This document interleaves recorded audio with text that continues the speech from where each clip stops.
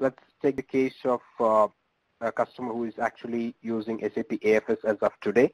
So you have to be on a certain AFS release to be able to actually do a one-step migration.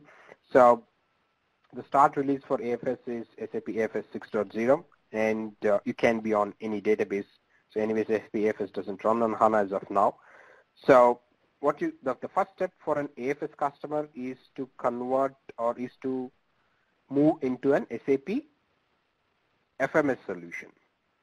So here you can see there are two boxes. One is SAP FMS with SAP S4HANA Finance as an add-on. The other one is uh, with is SAP FMS with uh, uh, the ERP Financial, so without S4HANA Finance. So both options are possible. So if you're an AFS customer, you can move to an SAP FMS today and then move to SAP S4HANA after Q3 or Q4 of 2017. So that's the first release which will be out.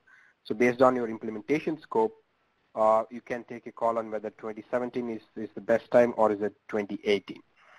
And uh, as of now, uh, there is, uh, as I said, there's no direct path between AFS and S4HANA, but SAP are looking into it and they would be providing an option to move from AFS into S4HANA going forward. But uh, as of now, this is the option that is available.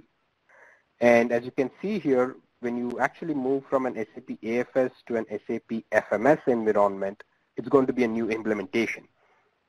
It's going to be a new implementation and uh, SAP does provide a data migration tool called DTNT, which would uh, help in migrating transaction data from an AFS into an FMS uh, application.